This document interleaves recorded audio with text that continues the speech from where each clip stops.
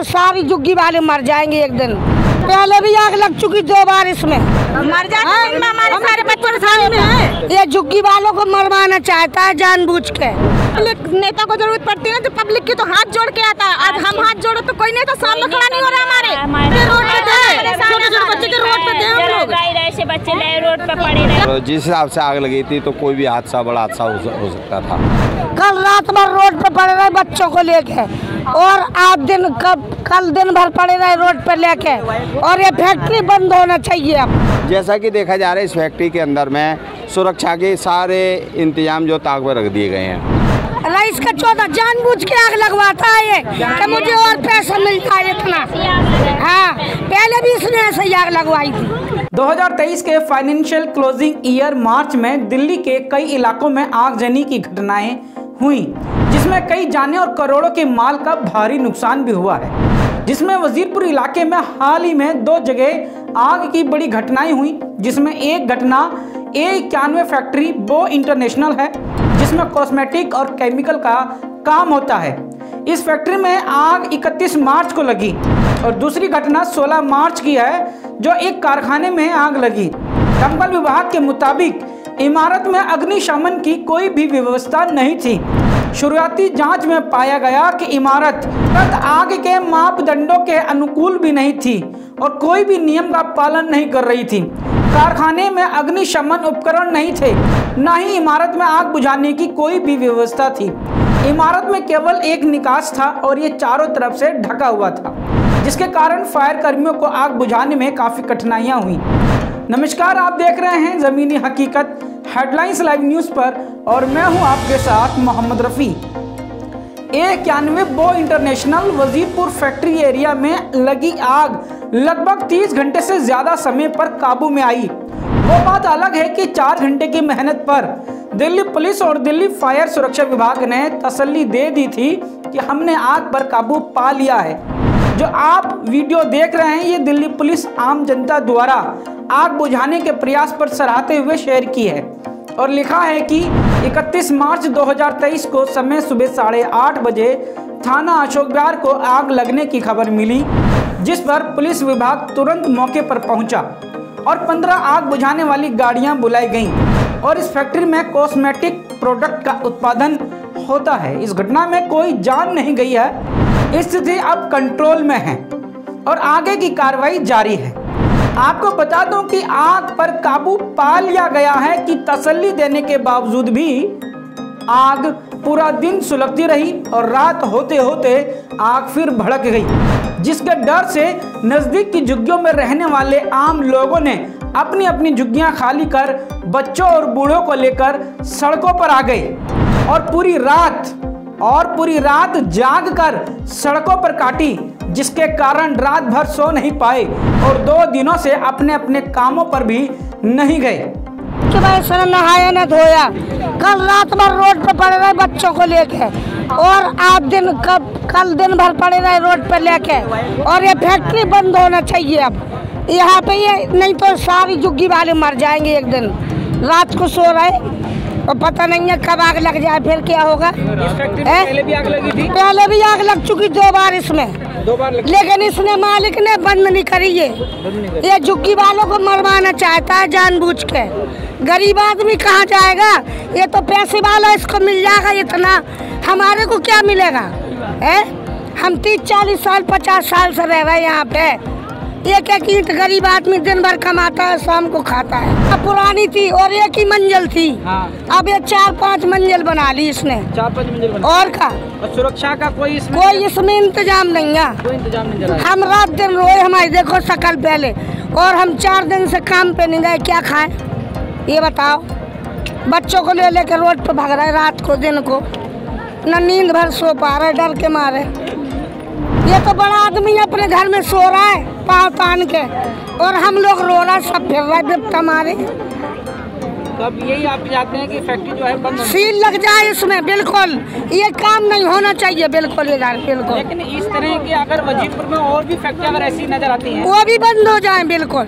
हाँ ये काम ना हो बिल्कुल के खतरे वाला के आदमी रात को लग गई मान लो अब किसी को खबर नहीं है। नींद में आदमी सो रहा है तो मरेगा कि नहीं? ये झुग्गी किनारे से लगी है इसमें। ये वाली फैक्ट्री नहीं होती तो लगती ज़रूर सारा झुग्गी सोआ हो जाता। कल सुबह सात बजे की जो आग लगी हुई है इस फैक्ट्री के अंदर में तो बहुत ही भयंकर रूप में आग लगी थी और जिस हिसाब से आग लगी थी तो कोई भी हादसा बड़ा हादसा हो सकता था। जैसा कि बताया जा रहा है कि इस फैक्ट्री के अंदर कॉस्मेटिक्स का काम होता है और कोई केमिकल्स वगैरह जो रखे हुए थे वो अब पता नहीं ये कारणों का नहीं पता चल पाया कि किस वजह से आग लगी है ये। पर यह कि जिस तरह से ये आग लगी थी बहुत भयंकर रूप था और आज तक ये जो है ना कंटिन्यू चल रही है अभी तक कवर नहीं हो पाई है ये। कल से पुलिसकर्मी और दम, दमकल कर्मी सारे जो है लगे हुए थे बड़ी मशक्क़त करनी पड़ी है। जैसा कि देखा जा रहा है इस फैक्ट्री के अंदर में सुरक्षा के सारे इंतज़ाम जो ताक पर रख दिए गए हैं। ये हालत ये है कि जितने भी दमकल कर्मी आए थे सारे परेशान हुए हैं। कम से कम मेरे ख्याल से सौ से ज़्यादा गाड़ियाँ आ चुकी हैं आग बुझाने के लिए। अगर इसमें कोई भी सुरक्षा के इंतज़ाम होते तो शायद इस तरह का केमिकल ऐसा है कि पानी में भी मारते हैं तो पानी नीचे चला जाता है केमिकल ऊपर आ जाता है पूरा। उससे आग और पकड़ रही है बुझता नहीं है उससे केमिकल पानी से। रात का क्या मंजर था यहाँ पे? रात का बहुत भयानक मंजर था सर।